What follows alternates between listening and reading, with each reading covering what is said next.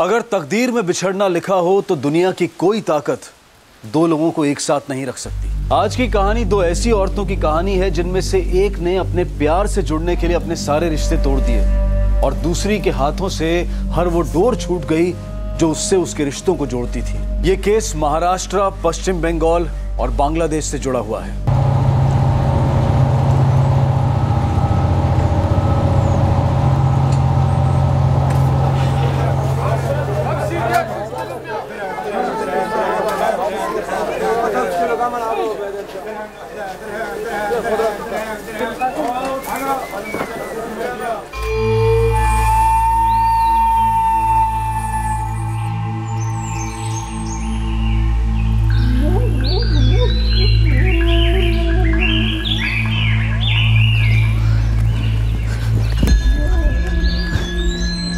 सीमा bag তোমার India যাওয়ার কাগজ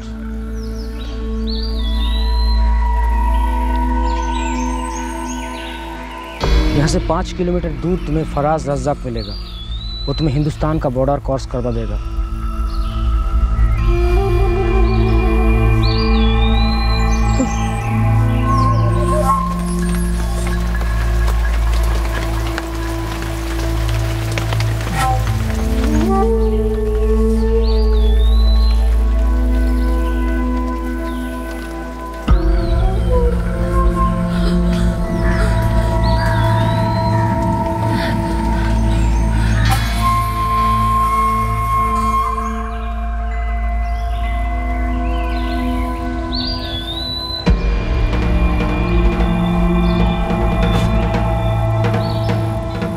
सीमा बेग हाँ कागजात दिखाओ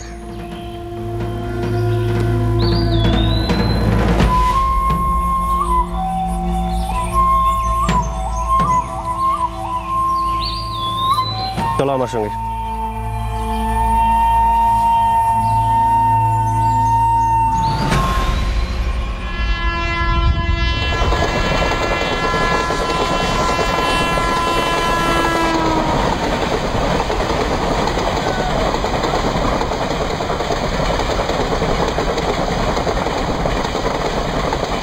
कहाँ जाची मुंबई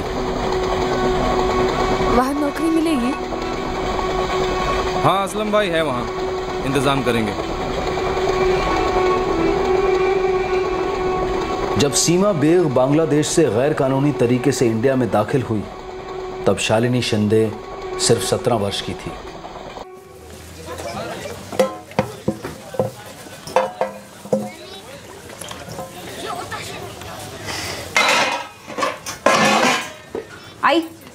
भांडे झालेत और कुछ है? नहीं कुछ नहीं. जल्दी से डिब्बा भर और तेरे कमल दादा को दिया हाँ.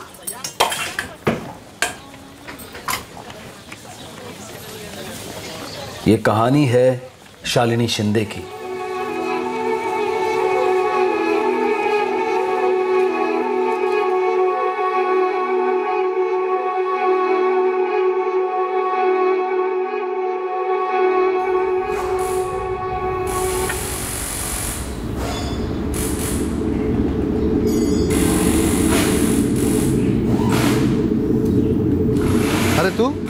शालिनी नहीं है? आओ क्या हुआ? शालिनी शालिनी भाग गई। क्या बक रही है?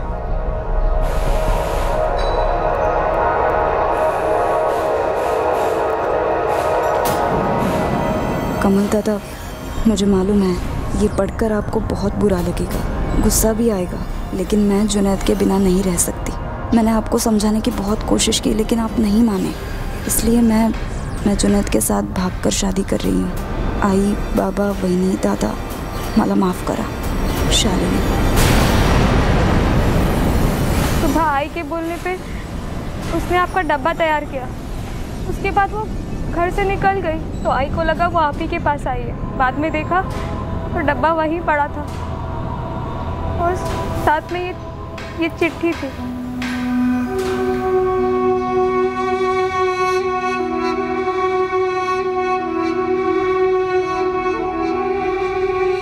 एक बार कोशिश करें तुम्हारे घर वालों से मिलने की। नहीं। कमल दादा कभी नहीं मानेंगे मुझे पता है। अब तो निकाह हो चुका है ना? शादी की तो खिलाफ थे वो। तेरे बिल्डिंग साइट पे काम करता है? हाँ। कारीगर है। कड़िया। कब से चल रहा है तुम दोनों का? चार महीने हो गए। लेकिन दादा अब वो मुझसे शादी करना चाहता है। और मैं भी। नाम बता। कहाँ का है? वो वो हिंदू नहीं है। तो? वो मुसलमान है जुनैद अंसारी तो का फिर लाएगा तुझा दूसरे धर्म वाले से शादी करेगी। लेकिन दादा वो आदमी अच्छा है। अरे हमारी बिरादरी में के लोग मर गए? आइंदा उसका नाम भी नहीं लगी तू इस घर में समझी? कल से तू काम पर नहीं जाएगी। दादा अगर शालिनी थोड़ा जात इधर उधर हो थोड़ा भाषा इधर उधर हो फिर भी समझे पर मुसलमान शक्यच नहीं। बाबा। बेटा बिरादरी में क्या मुँह दिखाएँ? बिरादरी में लड़के हैं उनमें से एक चुनना। ये क्या नाम है उसका? उसको भूल जा। बहुत बुरा होगा सांगुन ठोते मुझे पता है कमल दादा कभी नहीं माफ़ करेंगे मुझे। मैं हूँ ना।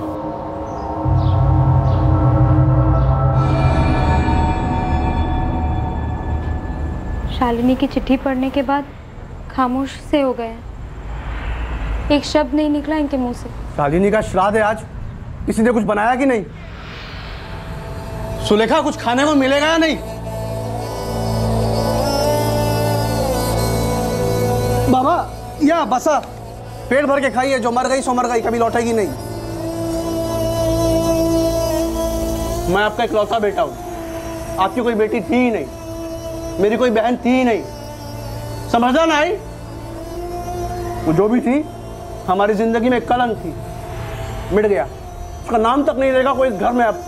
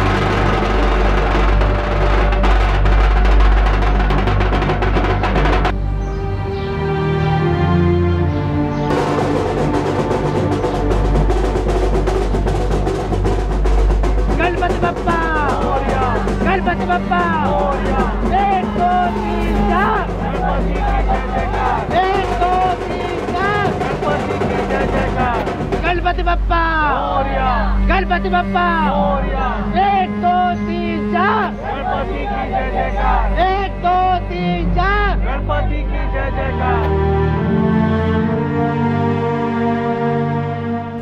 छह महीने हो गए। किसको छह महीने हो गए? अरे शालिनी को इस घर से गए हुए। शालिनी मर चुकी है बाबा। मैं बोल चुका हूँ। नहीं बेटा नहीं। अरे वो हमारा खून है बेटा। कमल। तुझे जो गुस्सा है, जो दर्द है, वो हमें भी है रे। मना मत कर, लेकिन तुझे भी याद आ रही है ना उसके? मुझे मेरी मरी हुई बहन बहुत याद आती है। जिसके साथ मैं खेलकर बड़ा हुआ हूँ। लेकिन वो मुझे कभी याद नहीं आती जो हमें छोड़कर किसी दूसरे धर्म वाले आदमी के साथ चले गई शादी करके। एक बार भी घर का नहीं सोचा, समाज का नहीं सोचा। इतनी खुदगर्ज कैसे हो गई वो? वो हमारा खून नहीं हो सकती बाबा। मैं उससे गुस्सा नहीं हूँ, पर मैं एक बात बता दूँ जिसको हमारी नहीं पड़ी है ना, हम उसके बारे में कभी नहीं सोचेंगे, कभी नहीं।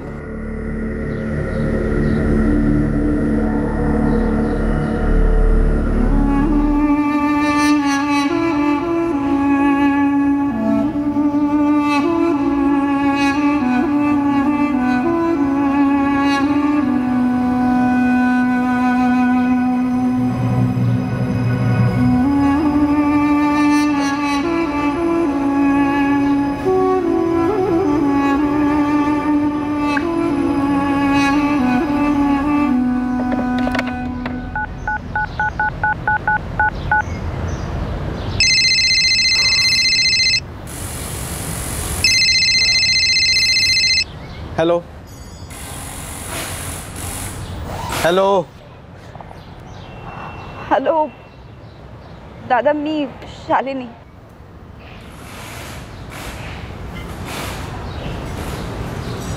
क्यों फ़ोन किया? कैसे हैं आप? बर। तू? आपकी बहुत याद आती है दादा। कभी माफ़ नहीं करोगे मुझे? तुझे लगता है तूने कोई गलती की। नहीं ना। फिर माफ़ी किस बात की? दादा असं नको ना बोलू.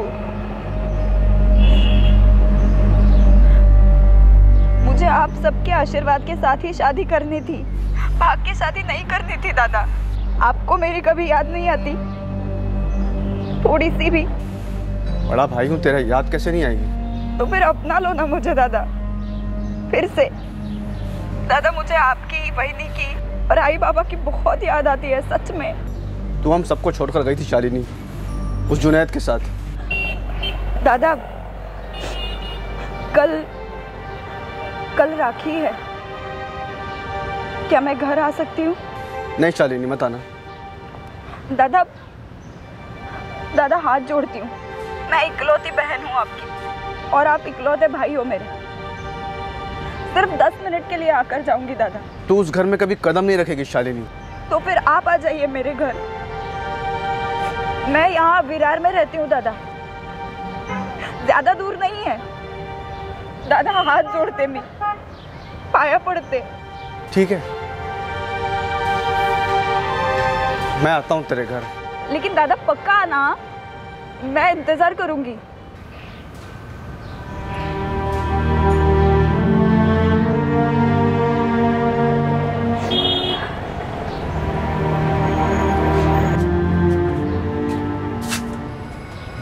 आमिर डबा मेरी कॉन्ट्रेक्टर से बात हुई थी। उसने कहा कि इस साइट पर तो कोई काम नहीं है। कहीं और होगा तो बताएँ उनसे कहो बड़ी मेहरबानी होगी। कोई भी काम चलेगा।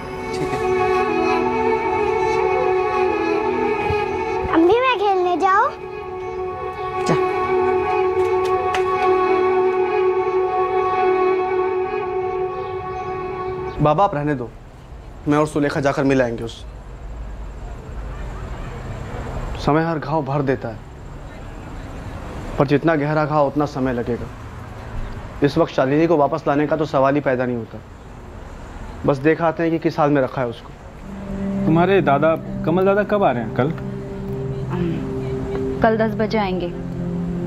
मैं उन्हें नाके पर लेने के लिए जाने वाली हूँ। लेकिन तुम घर पर रहना हाँ? मैं क्या कह रहा था? पहले तुम मिल लो। अरे गर्मा गर्मी थोड़ी कम हो जाए ना। मैं बाद में फिर किसी दिन मिल लूँगा। सुलह करने का एक मौका मिला है। रिश्ते बनाने के लिए तो पूरी ज़िंदगी पड़ी है। ठीक है।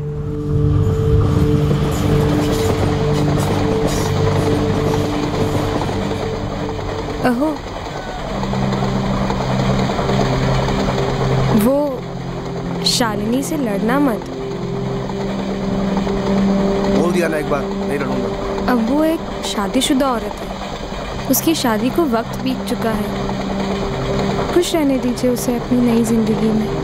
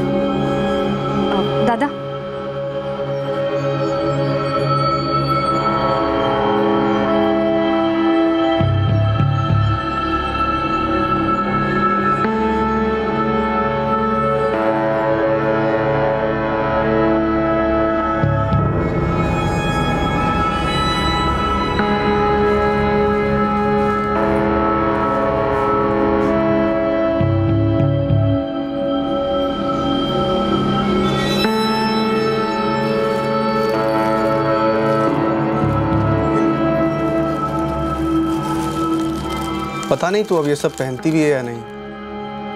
फिर भी रख। पहनती क्यों नहीं होगी?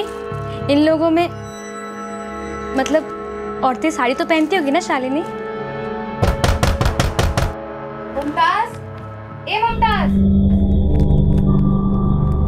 आई आपा।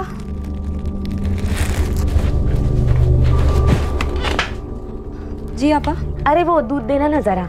वो मेरा जल गया। अभी आई रुकिए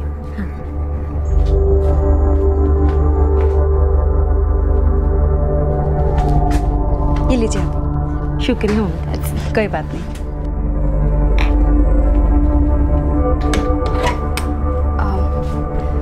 दादा वही अब आप लोग खाना खाकर जाइए। नहीं शालिनी।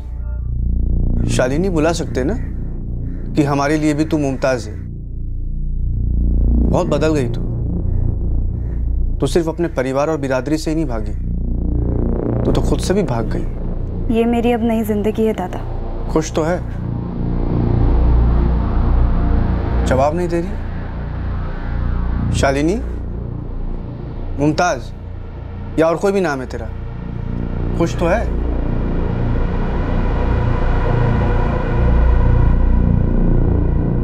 चल सुलेखा। दादा। रुकिए ना। वही नहीं रुकिए ना। जुनैद अभी आते ही होंगे। हम सब मिलकर खाना खाएँगे। क्या कहते हो? चल बोला ना।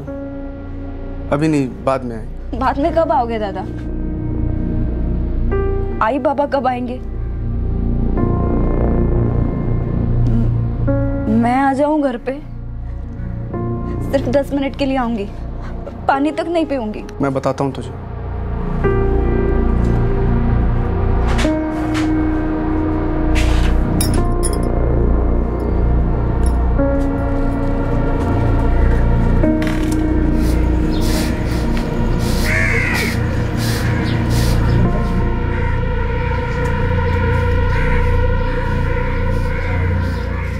इंसान के लिए कुछ बातें पूरी तरह से अस्वीकार्य होती हैं। और अगर वही बातें ज़िंदगी का सच बन जाएँ तो जीना दुश्वार हो जाता है। एक बहुत भारी गले का पत्थर बन जाता है।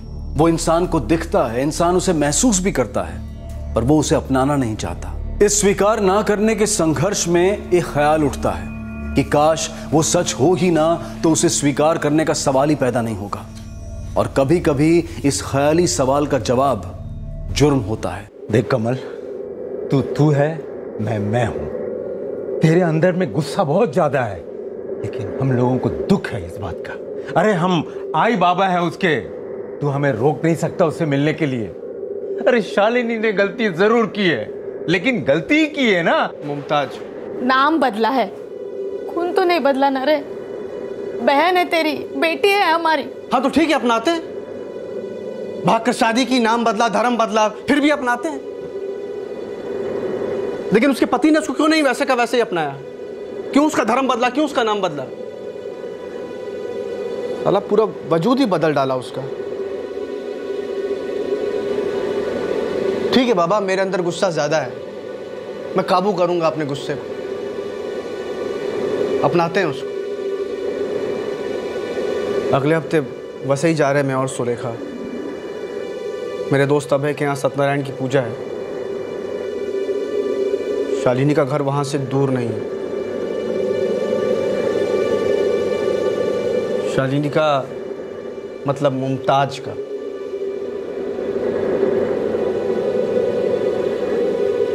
ले आएगा उससे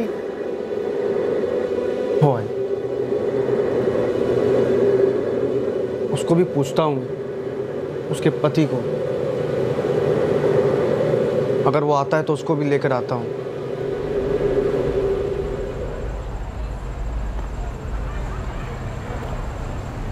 बारह साथ फ़ोन किया। बात हुई वहाँ पे? नहीं। कल करूँगी।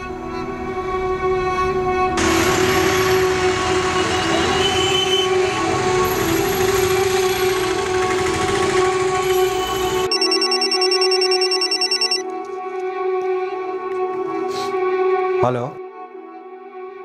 আমি সীমা বলছি हाँ बोलो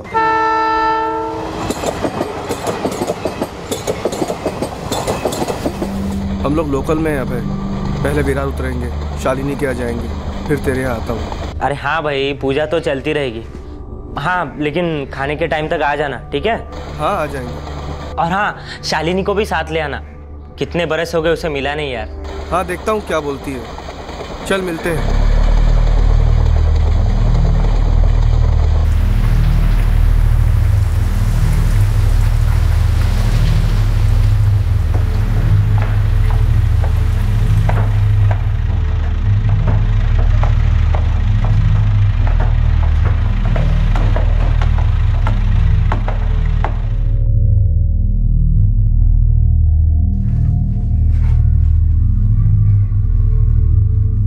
शालिनी? शालिनी?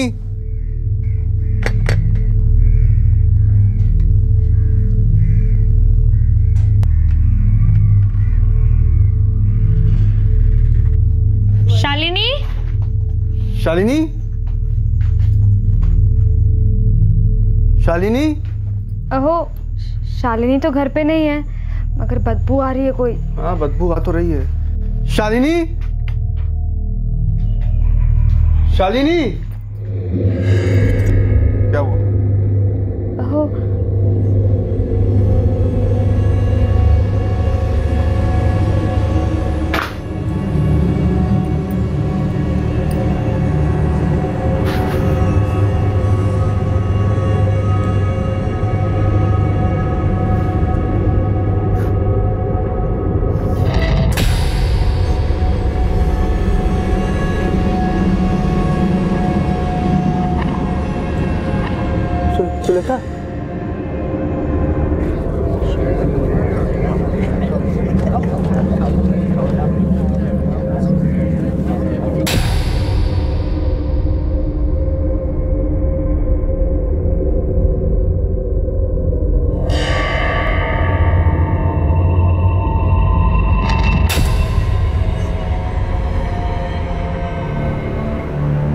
यहाँ से मेरे दोस्त अभय के यहाँ सत्यनारायण की पूजा के लिए जाने वाले थे। शालिनी को भी ले जाने वाले थे। जब यहाँ आए तो दरवाज़ा खुला था। अंदर आए तो ये सब देखा। नहीं मैडम हम मुमताज़ के मर्द को नहीं जानते। हम मिले भी नहीं है उससे। ये मुमताज़ का पति यही काम करता था ना? ऐसे कैसे तुम लोग मुमताज़ को जानते और मुमताज़ के पति को नहीं जानते? हम लोग तो अच्छी तरह से मुमताज़ को भी नहीं जानते। ये मुमताज़ यही काम करती थी ना? नहीं इसके पति का नाम जुनेद अंसारी है। मैं कभी मिला नहीं उससे। नंबर है उसका? नहीं सर।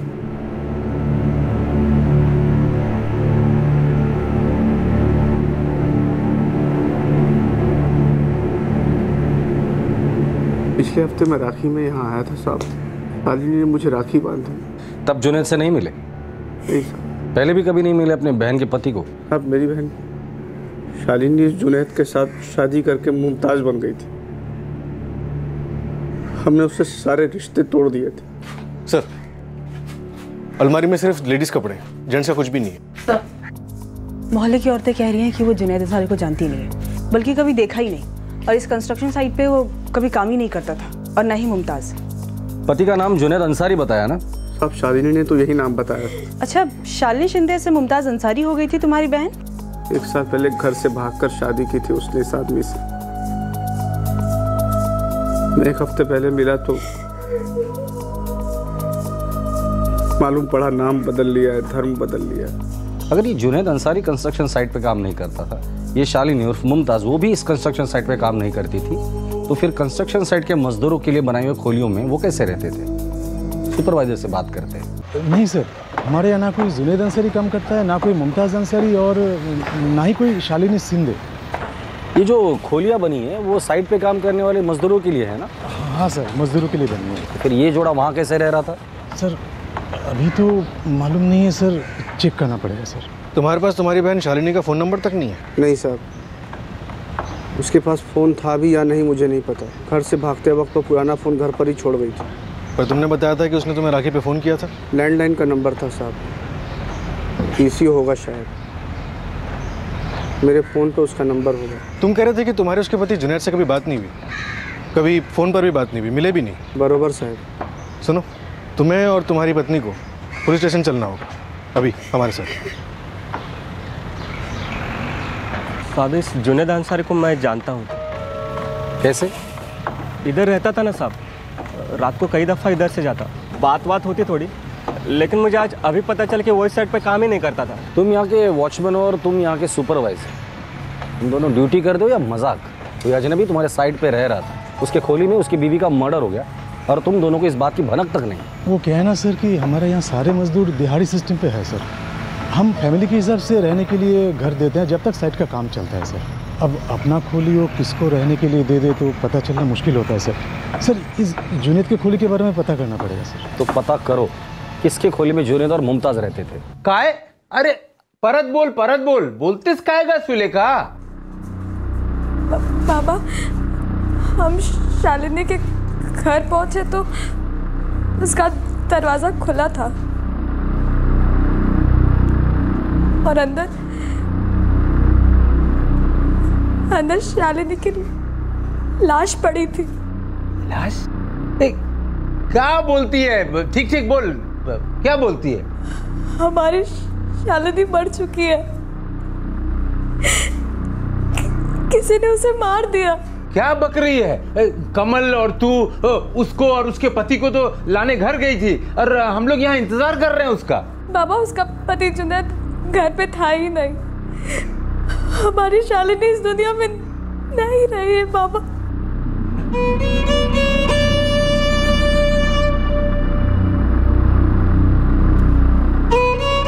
काय झालं हाँ?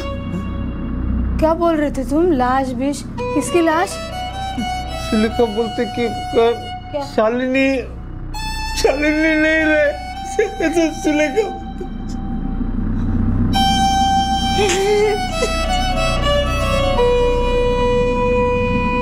बॉडी काफ़ी सड़ चुकी है। मौत कब हुई होगी? कम से कम बहत्तर घंटे पहले या उससे ज़्यादा भी हो सकता है। स्ट्रैगुलेशन बिल्कुल गला घोटा गया है। विंड पाइप बिल्कुल चोक्ड है।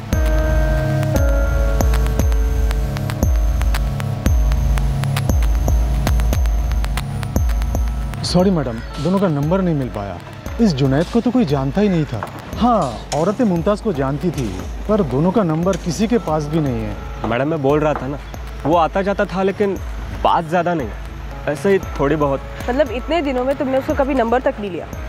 नंबर वंबर लेने के लिए कुछ बात या कुछ काम भी तो होना चाहिए मैडम। अच्छा तो कुल मिला के इन छह महीनों में ये जुनैद यहाँ पे कितनी बार आया गया होगा? कई बार मैडम। कई बार मतलब? रोज? हफ़्ते के हफ़्ते? मतलब दिन में दस पंद्रह बार? नहीं मैडम उतने बार नहीं। यहीं कोई पाँच छः बार।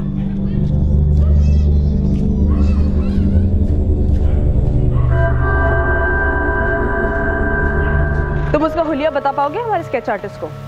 कोशिश कर सकता हूँ। चेहरा याद है मुझे ठीक से। ठीक है। तुम हमारे साथ थाने चलो और तुम यहाँ पे किसी और को ड्यूटी पे बुला लो। जी। एक हफ़्ते पहले तुम अपने बहन से मिले थे पूरे एक साल बाद। मैं तो सब रिश्ता तोड़ दिया था ना साहब। मर गई हमारे लिए ऐसा सोचा था। फिर सामने से उसने फ़ोन किया राखी के एक दिन पहले। पिघल गया दिल। तो फिर आज क्यों आए थे? बाबा और आई मिलना चाहते थे उससे। मैं उसे घर ले जाने वाला था। उसे और उसके पति को। हम फिर से रिश्ता जोड़ने का सोच रहे थे। तुम्हारी बहन और उसके पति को लेकर तुम अपने दोस्त अभय के यहाँ जाने वाले थे पूजा के लिए। हो साहब। उसने सामने से बुलाया था खाने पे। वो वसई में ही रह, रहता है। मेरे घर पे सत्यनारायण की पूजा थी। कमल दोस्त है मेरा। मैंने सोचा कि वो सुलेखा वेनी के साथ आएगा तो अच्छा होगा। कब से जानते हो कमल को? बचपन की दोस्ती है साहब। मतलब हम लोग एक ही एरिया में रहा करते थे। ये कमल अपनी बहन शालिनी से नफरत करता था? नफरत तो नहीं कहूँगा साहब लेकिन सॉलिड गुस्सा था उससे। वो घर छोड़कर भाग गई थी ना उस जुनेद के साथ शादी करने के लिए उस वजह से। गुस्सा तो बहुत था साहब। उसे बिना बताए चिट्ठी रखकर भाग गई थी। साल भर दिल पर पत्थर रख लिया। मिला नहीं। बात तक नहीं की फ़ोन पर भी नहीं। लेकिन लेकिन मिलने का बहुत मन करता था। बहन बहन थी छोटी।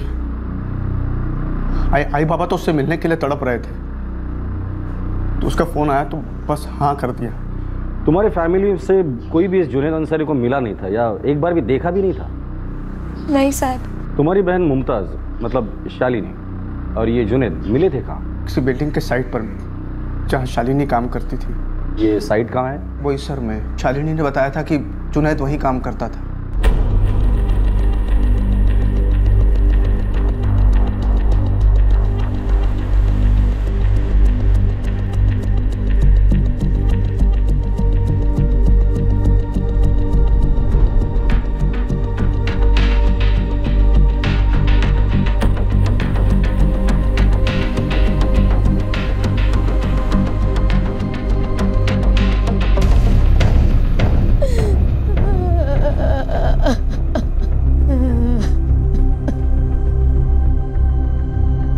कमल, ए कमल, तू खरा खरा बोल खरा खरा बोल।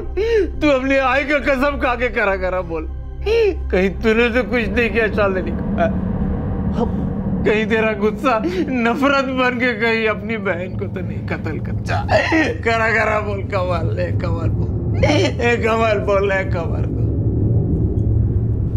sir security guard Sujit के साथ पूरे चार घंटे माथाफोड़ी करने के बाद स्केच आर्टिस्ट ने ये बनाया। सर आसपास की सारी अंडर कंस्ट्रक्शन बिल्डिंग साइट्स में इसे दिखाते हैं। हो सकता है किसी ने इसे देखा हो। बड़ी अजीब बात है कुलकर्णी। लड़की के घर वाले इस जोड़े के पड़ोसी किसी ने भी इस जुनेद अंसारी को देखा तक नहीं। हमारे पास तो इसका नंबर भी नहीं है। है तो बस ये स्केच सर इसी से शुरुआत करके देखते हैं। ठीक है। मीरा आसपास की जितनी भी साइट है वहाँ जाके ये तस्वीर दिखा देना। और कुलकर्णी तुम बोईसर के उस साइड पे जाना जहाँ एक साल पहले ये दोनों मिले थे जुनेद और शालिनी। हो सकता है वहाँ से कुछ लीड मिल जाए।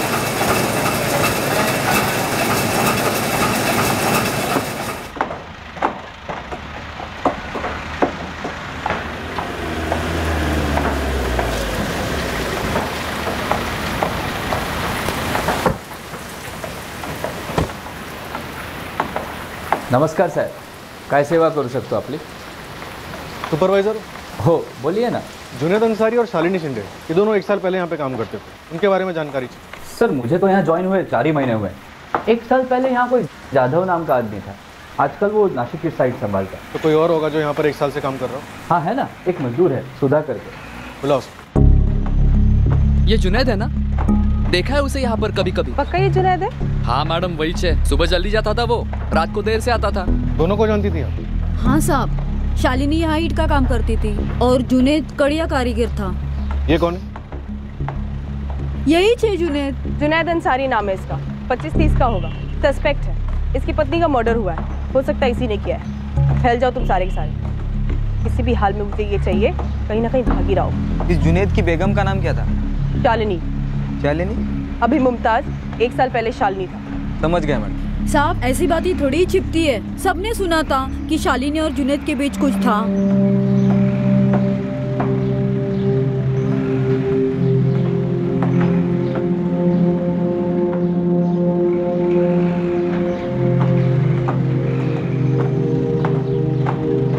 साहब वो शालिनी को जुनेद से प्यार हो गया था वो बोली थी मुझको कि शादी की बात भी की जुनेद ने उसके साथ। कुछ तो चल रहा था उसके दिमाग में। उसका नाम जुनेद अंसारी है ना? और तेरा शालिनी शिंदे। मतलब समझ रही है ना? अरे घर वाले काट ही डालेंगे तुझे। बातों से तो काट ही डाला है सुधा ताई। सीधा ना बोल दिया। तो अब क्या करेगी? हम्म? माहिती नहीं लेकिन मुझे उससे शादी करनी है। मैं प्यार करती हूँ उससे। घर वालों के खिलाफ जाएगी भागेगी? पता नहीं मुझे सुधा ताई और एक बात है जो मुझे खाए जा रही है। कौन सी बात? एक गांठ है सुधा ताई जो कैसे खुलेगी समझ में ही नहीं आ रहा है। अरे बात क्या है? बोलना। बताना। बोला नहीं उसने कुछ? कुछ हिंट दिया उसने कोई इशारा? नहीं साहब कुछ भी नहीं। जब तक यहाँ रही तब तक एकदम चुपचाप रहती थी। बाद में मैंने सुना कि वो घर से भाग गई जुनेद के साथ। तो वो घर से भागी थी? तभी यहीं पर काम करती नहीं साहब यहाँ पर तो सब देहाड़ी मजदूरी पर ही काम करते। पहले शालिनी ने आना बंद कर दिया। उसके बाद कुछ दिनों के बाद जुनेद ने भी काम पे आना बंद कर दिया। फिर खबर आई शादी की। और पूरे एक साल के बाद अब पता चल रहा है कि वो शालिनी मुमताज़ बन गई थी। और इस दुनिया में नहीं है।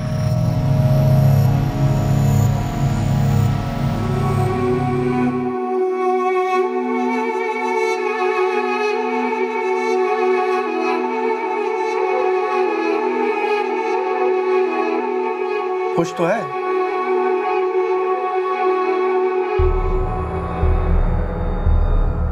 जब तुम कभी जुनेद से मिले ही नहीं तो तुम कैसे कह सकते हो कि तुम्हारी बहन उसके साथ खुश नहीं थी? मैंने पूछा था उससे साहब।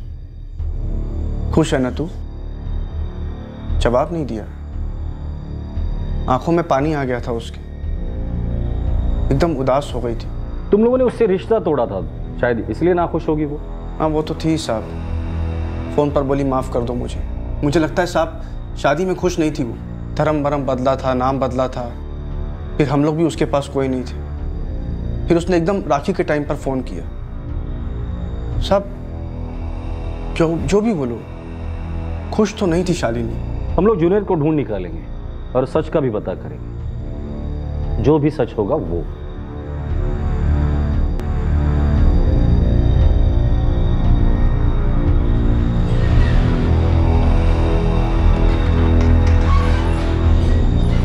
सर बोईसर साइड से कुछ काम का नहीं मिला।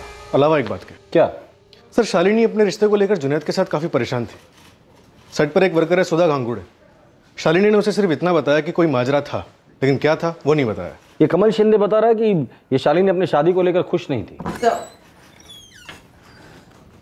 खबरी लग गए हैं जुनेद अंसारी के पीछे। कुछ नहीं तो कम से कम एक फ़ोन नंबर भी मिल जाएगा जल्द से जल्द। हमारे पास इस केस के अलावा कुछ भी नहीं है। हमें सिर्फ़ इतना पता है कि जुनेद और मुमताज़ उर्फ़ शालिनी साथ में रहते थे।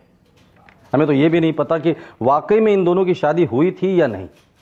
दोनों कंस्ट्रक्शन वर्कर थे। क्या इसी ने मुमताज़ का मर्डर किया है या किसी और ने? ये जुनेद ज़िंदा भी है या नहीं? ऐसा भी तो हो सकता है कि कमल ने ही मर्डर किया हो। एक हफ़्ते पहले घर आया मिला फिर दो तीन दिन के बाद लौट आया और मुमताज़ को मार डाला क्योंकि उसके लिए तो शालीन एक साल पहले ही मर चुकी थी। ऐसा भी तो हो सकता है। हो सकता है सर। पहले खुद ही मर्डर किया हो और उसके बाद सड़ी विलास खुद ही ढूंढ निकाल लियो इस कमल शिंदे की कुंडली निकालो। मुमताज़? ए मुमताज़!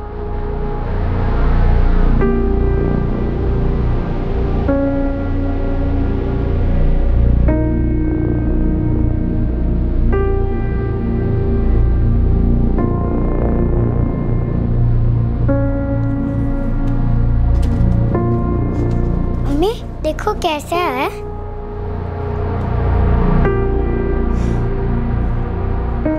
बहुत अच्छा बेटा जा पूरा कर ले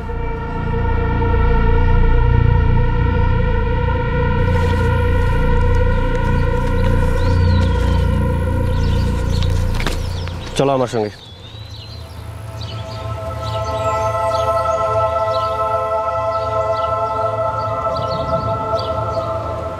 फ़ोन देना तो? अम्मी और अबू को फ़ोन करके बताती हूँ कि मैं हिंदुस्तान पहुँच गई। जल्दी कथा बोलो। जल्दी।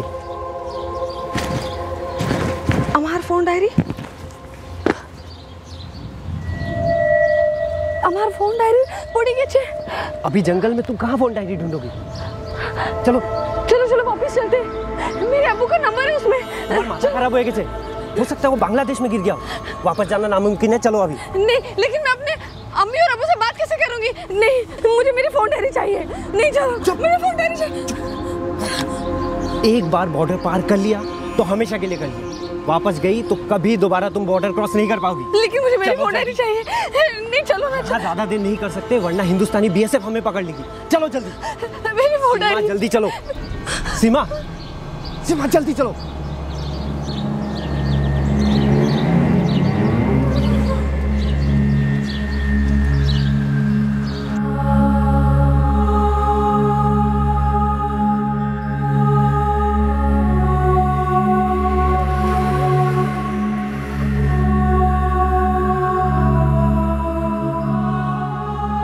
औरत को नियति ने उसके घर वालों से अलग किया था और दूसरी को मोहब्बत ने। एक साल पहले की शालिनी और अब की मुमताज़ का कत्ल किसने किया था? और उसका पति जुनैद अंसारी इस वक्त कहाँ था? क्या एक बहन के दूसरे धर्म में शादी करने के फैसले से एक भाई इतना गुस्सा हो गया था कि उसने बहन का कत्ल कर दिया? या फिर एक घर से भागकर शादी करने वाले जोड़े के बीच कोई सीरियस मसला हो गया था जिसकी वजह से पति ने पत्नी का कत्ल कर दिया? और खुद भाग निकला। या इस केस का कोई तीसरा एंगल था और जुनेद अंसारी खुद भी मारा गया था। मुंबई की लड़की शालिनी शिंदे के केस से बांग्लादेश से आई गैर कानूनी इमिग्रेंट सीमा का क्या ताल्लुक था? शालिनी जुनैद से लव मैरिज तो कर रही थी, पर वो क्या बात थी जो उसे अंदर से खाए जा रही थी, पर जुबा पर आने का नाम नहीं ले रही थी? इन दो औरतों के केस में कौन किसका हबीब यानी कि मित्र था, और कौन किसका रकीब यानी कि प्रतिद्वंदी था ये तो आने वाले दिन ही बताने वाले थे। इस केस का दूसरा और आखिरी भाग हम देखेंगे कल रात सीआईडी के एपिसोड के बाद। अब मैं अनूप सोनी आपसे विदा लेता हूँ। फिर मुलाकात होगी। तब तक सुरक्षित रहें और सतर्क रहकर एक अच्छे नागरिक का फ़र्ज़ अदा करें और देखते रहें क्राइम पेट्रोल सतर्क। सबक एक को सीख हम सबको। जय for more update subscribe to our channel click the show links and enjoy watching the.